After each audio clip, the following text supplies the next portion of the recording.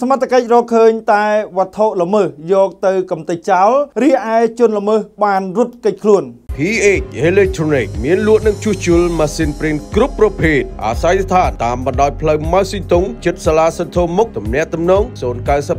34 56 31លោកវរៈស្នេហ៍ឯកឡុងយោធាវរៈអធិការស្រុកឯភ្នំសហការជាមួយកម្លាំងសឹករងស្រុកឯភ្នំឈរជើងទិសទន្លេសាបកម្លាំងសរុបចំនួន30នាក់ចោកបង្ក្រាបបទល្មើសនេសាទខុសច្បាប់មួយលើកនៅត្រង់ចំណុចអតីតឡូលេខ2និងឡូលេខ3ឃុំកោះជីវាំងស្រុកឯភ្នំខេត្តបាត់ដំបង ការបង្ក្រាបគឺដោយអនុវត្តតាមបទបញ្ជាដឹកនាំរបស់លោកឧត្តមស្នេហ៍តូសាទកំសានស្នងការនៃស្នងការដ្ឋាននគរបាលខេត្តបាត់ដំបងនិងលោកឧត្តមស្នេហ៍ត្រីចេងលេងស្នងការរងទទួលដឹកនាំការិយាល័យប្រឆាំងបទល្មើសសេដ្ឋកិច្ចក្នុងកិច្ចប្រតិបត្តិការសមត្ថកិច្ចបានប្រើប្រាស់កាណូតចំនួន10គ្រឿងជាលទ្ធផលនគរបាលជំនាញបង្ក្រាបបានចំនួន4គោលដៅគោលដៅទី1នៅចំណុចពីមស្ទឹងកំបុតដកសាច់អួនប្រវែង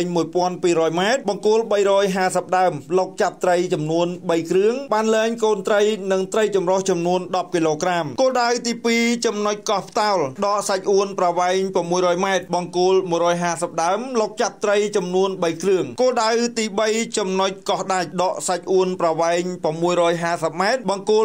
220ដើមលុកចាប់ត្រីចំនួន4គ្រឿងបានលែងកូនត្រីនិងត្រីចម្រុះចំនួន10គីឡូក្រាមនិងគោលដៅទី4ដកសាច់អួនប្រវែង500ម៉ែត្របង្គោល230ដើមលុកចាប់ត្រីចំនួន2គ្រឿងចំពោះករណីខាងលើនេះរាល់វត្ថុតាងដែលបង្ក្រាបបាន សមត្ថកិច្ចចាប់បំផ្លាញនិងដុតកំទេចចោលនៅនឹងកន្លែងដោយឡែកជនល្មើសបានរត់គេចខ្លួនមុនពេលសមត្ថកិច្ចចុះអន្តរាគមន៍នេះបើតាមរបាយការណ៍របស់អធិការស្រុកឯភ្នំ PH Electronic មានលក់និងជួសជុលម៉ាស៊ីនព្រីនគ្រប់ប្រភេទអាស្រ័យស្ថានតាមបណ្ដោយផ្លូវម៉ៅស៊ីតុងជិតសាលាសន្ធមុខទំនាក់ទំនង098